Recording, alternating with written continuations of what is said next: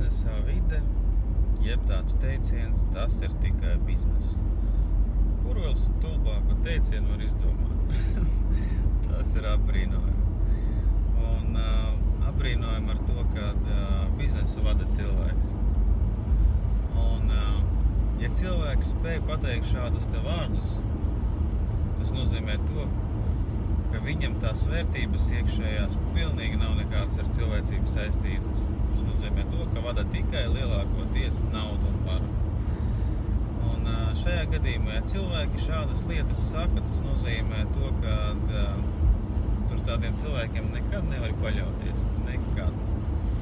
Jo viņi meklēs tādu izdevīgumu jebkurā situācijā. Un, ja tu nekļūsi vienā brīdī neizdevīgs, tad reāli tu būsi neizdevīgs, tas būs tikai bizness. Jā. Ko tad īstenībā tas nozīmē? Arī manā dzīvē bija tāda, tāds, tāda situācija, kas man arī īstenībā ļoti, ļoti, ļoti lika pārvērtēt visas cilvēka vērtības, un es sapratu uh, dzīvē svarīgākās lietas, jā, tās prioritātes, jo uh, biznesu nevar izveidot bez cilvēcības. Jo, ja to veidos bez cilvēcības, vienā mirklī, kas notiksies, nebūs vairs ar ko tad uh, veidot to biznesu. Tāpēc, kad uh, mūsu stāvoklis ir tāds, ka mums ir nepieciešama komunikācija, mums nepieciešams ir atbalsts, ja? Un uh, atbalstu nevar iegūt no cilvēkiem, kas runā tādus vārdus. Tas ir tā kā izmantot darba zirgu vienkārši iejūgt ja, to cilvēku iekšā, lai viņš tur pahā strādāt, cik jau nu maksimāli var, ja, un vienkārši pēc tam izmest ārā. kur tur cilvēciskās īpašības, kur tur kultūra, ja? Ja to nevar savienot savā starpā, ja, kad cilvēcīgi ar biznesu. Arī, jā, man bija tāds gadījums, kad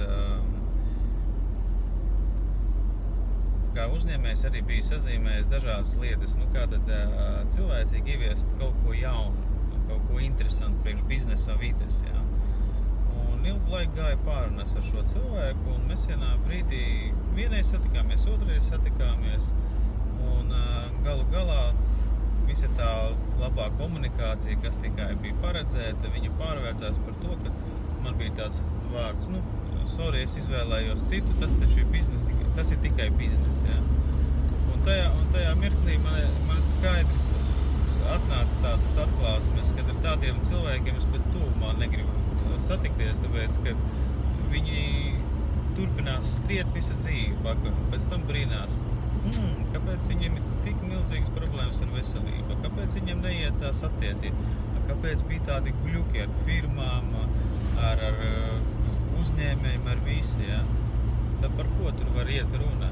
Ja tev nav cilvēcības iekšējās, lai savstarpēji vienoties godīgi un taisnīgi pateikt, daram šādas lietas, tu esi kopā ar mani vai tu neesi kopā ar mani. Tik līdz nav kopā ar mani, tad dodies tālāk vienkārši, nečakarē visiem prāta, nu. Un tu sapratīsi, ka vienā mirklī dodoties laiku tālāk, tev vairs nav ar ko tad īsti parunāt. Tev visu laiku būs jāuzmanās kāds no stūra, lai neizlēn ārā, jo tas taču tikai biznes, ja. Un uh, cilvēki paši uzstājas ar sevi par kaut kādu mocekli, kad viņi ir iztēlojušies, kad viņiem viss tas iestāv un baigi viegli. Nu, tā nenotiek. Nu, tā dzīvē, dzīvē galīgi nenotiek. Tāpēc jau ir tā, ka cilvēki pēc tam vienā brīdī risina visas savas karmas jautājumus, psiholoģiskos problēmas, depresijas, tad viņi risina pēc tam attiecību jautājumus, tad viņiem ģimene neveidojas, tad viņiem problēmas ar bērniem. Nu, tas jau ir tikai tāpēc, ka tādas situācijas notiek, ka cilvēks saprast tās likumsakarības, kā strādā sajūtas, kā strādā prāts, kā strādā ķermenis, kā strādā notikumi. Nu, tad varbūt tās viņš to nedarītu, ja? Un es vēlos vienkārši cilvēkus aicināt pie tā, ka sākam domāt, ko mēs runājam, kā mēs rīkojamies, uzdot vienkārši jautājumus, vai es vēlētos saņemt pretī tādu attieksmi no otra cilvēka. Ja? Un arī izdomājuši ir kaut kādas manipulācijas, jā, savā galvā iztēlojuši zīmētādi. Ja viņš man teiks to, es darīšu to. Ja viņš man teiks to, es darīšu šito. Ja man teiks to, visām tām manipulācijām nav vispār nekādas nozīmes, ja vienā brīdī uzdot tieši šie jautājumus. Un tieši šie jautājumi ir tādi, tu vēlies ar mani kopā sadarboties, vai tu nevēlies sadarboties. Tu mani uzskati par ko? Kas es tev esmu šajā gadījumā, ja tu vēlēsi ar mani sadarboties? Ja? Slaucama kaza vai vienkārši sadarbības partneris vai kompanjons? Un jo tiešāk un skaidrāk mēs spēsim šos jautājumus viens otram uzdot un atklāti, atklāti pateikt acīs to, ko mēs domājam, ja? Labi, viņš apvainos, būs, būs trakas lietas, jā, varbūt tās. Taču tas pēc tam nevilksies visu mūžu šeit ir līdzi, jā. Tāpēc, ka visas tās lietas, ko cilvēks izdara, arī visu to tas ir biznes, jā. Viņš visu savu dzīvi atcerās par to notikumu. Un tas nāk ārā. Un tas var nākt, nākt ārā saistībā ar to, ka tā ir nauda, tā ir vara. Jā. Tas nozīmē to, ka vienā brīdī reāli cilvēku pašu uztaisīs tā, nu tas ir bizness, nu piedod. Un jo lielāka cietsirdība iekšēji paliks, jā, jo tāpēc cilvēks nevarēs saprast, nu, kā varēja viņu tur pasūtīt tālāk, jā. Nu, tā arī notiek. Tu pasūti vienu cilvēku, nākošie pasūti tevi, jā.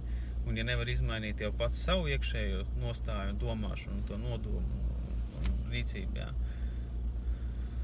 tāda arī dzīvē būs apkārt tādi cilvēki, kas to darīs, kas tev visu laiku liks par to domāt un izmainīt to visu. Tāpēc domājam, pirms mēs kaut ko darām tādu, jo tas tiešām viss dzīvē nāk atpakaļ.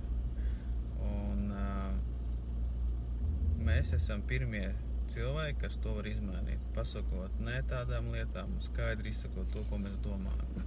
Tā varam arī izmainīt savu dzīvi un savus notikumus, savu veselību, savu stāvokli, pilnīgi visu. Vēlēs runāt par dzīvi, par uh, lietām, kas varbūt tās jāpamaina sevi, savos notikumos. Tad, uh, Man ir sociālai tīkli, man ir mājaslapa korman.cl, kur tas liek visu informāciju iekšā.